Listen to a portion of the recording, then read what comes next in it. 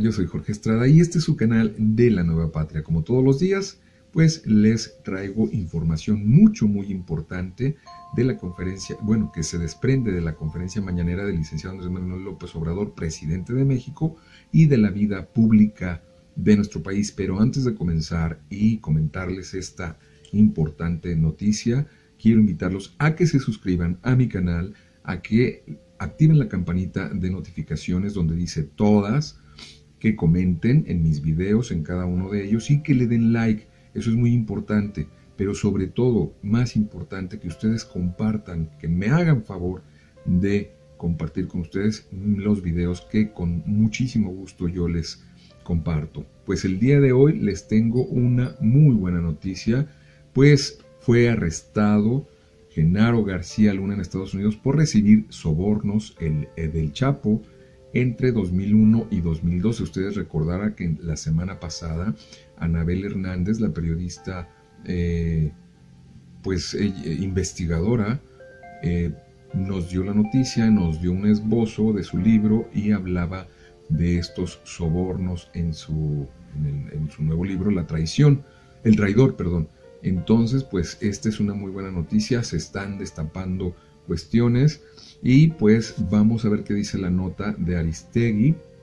Dice que el, exsecretario, exsecretario perdón, mexicano de seguridad de 2006 a 2012, Genaro García Luna, fue arrestado en la localidad tejana de Grapevine y acusado de corrupción, informó el Departamento de Justicia de los Estados Unidos en un comunicado el fiscal del, Distrito Este de Nueva York, Richard P. Donoghue, estableció que García Luna recibió sobornos millonarios a cambio de permitir la operación del cártel de Sinaloa.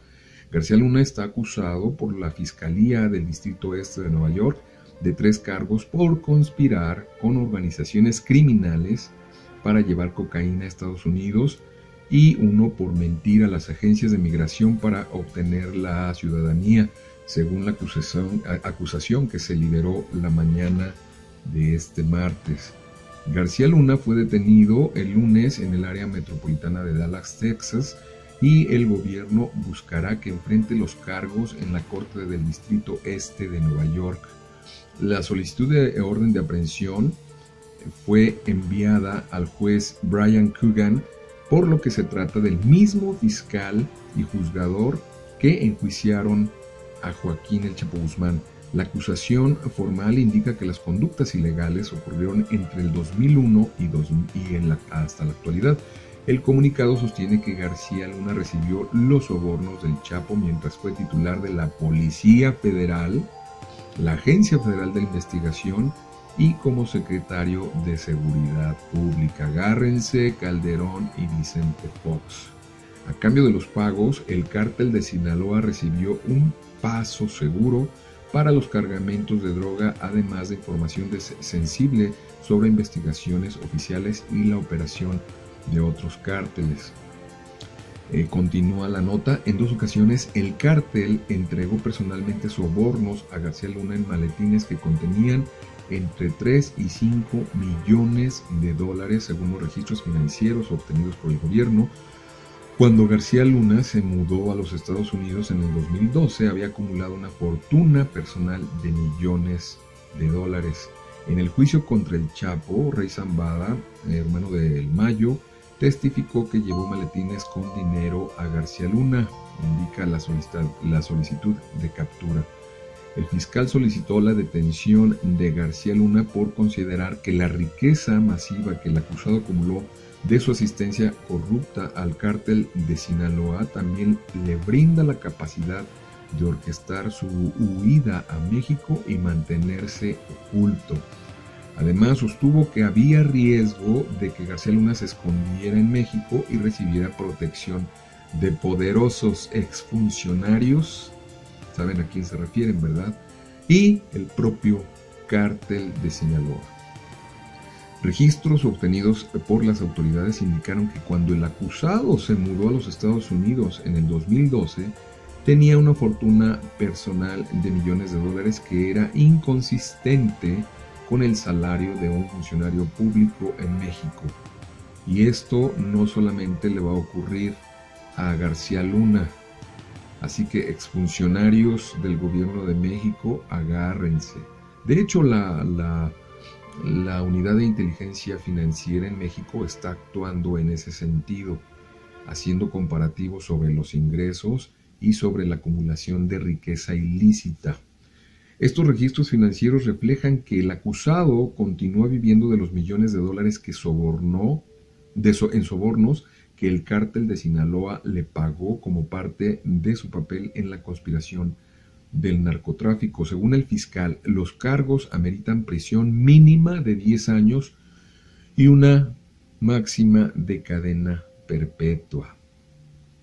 Previamente, en su cuenta de Twitter, la periodista del sitio especializado ProPublica, Ginger Thompson, dijo que la detención se da en el marco del juicio contra el, ex jefe del cártel de Sinaloa, Joaquín El Chapo Guzmán, y su antecedente inmediato es una acusación de 2005 por presuntamente haber recibido sobornos. De acuerdo a las fuentes de Thompson, en el dormitorio modesto donde se encontraba había fotografías de García Luna con funcionarios estadounidenses. Pero a todo esto, ¿qué dice Felipe Calderón? Bueno, pues Felipe Calderón ya se pronunció a través de su Twitter, porque pues no tiene otra tribuna el pobre hombre. Eh, y Felipe Calderón responde a esta acusación, a la detención Dice, esta mañana el departamento, eh, bueno, repite la nota, pero vamos a ver lo que dice Felipe Calderón. Estoy conociendo por redes sociales la versión del presunto arresto de Genaro García Luna. Desconozco detalles y estoy pendiente de la información que confirme el hecho. Creo que ahora le están temblando los pies, las piernas y pues está empinando el codo como lo de los cargos que en su caso se le imputen. Mi postura siempre será en favor de la justicia y la ley. Bueno, bañándose en salud. Es decir, que Calderón desconoció de que es acusado su ex muchachito y maneja como presunto el arresto del ex secretario de Seguridad Pública, aun y cuando el el Departamento de Justicia de Estados Unidos confirmó su detención. También hay que recordar que el año pasado en el juicio en contra de Joaquín el Chapo Guzmán, de Jesús el, Rey Zambada, declaró que el cártel de Sinaloa entregó a García Luna entre 6 y 8 millones de pesos en sobornos. En ese testimonio, Zambada indicó que Genaro García Luna se desempeñaba como director de la AFI en el gobierno de Vicente Fox y luego pasó a la Secretaría de Seguridad Pública de la manita de Calderón. En aquel año, o sea, el año pasado, el abogado del Chapo, Jeffrey Lichman, aprovechó para lanzar un par de acusaciones en contra de los expresidentes Felipe Calderón y Enrique Peña Nieto.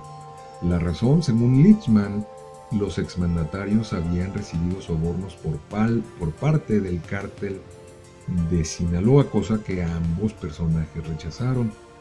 Pero bueno, también hay un libro en el que Anabel Hernández señala precisamente que la guerra eh, contra el narco, pues realmente fue para defender al cártel de Sinaloa, del cual es patrocinado, es patrocinado, más bien Felipe Calderón es patrocinado. Entonces, pues esto se está poniendo bueno. Ojalá, ojalá de verdad que las autoridades eh, mexicanas contribuyan también a este pues a esta detención, al juicio que va a proceder contra este exfuncionario y lo que resulte. ¿Qué les parece? Pues ahí está, ojalá que así sea.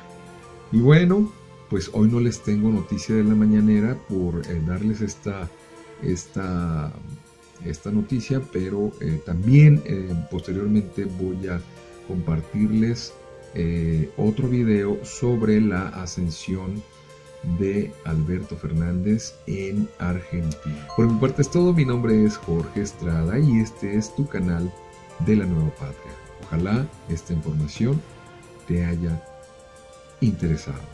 Hasta la próxima.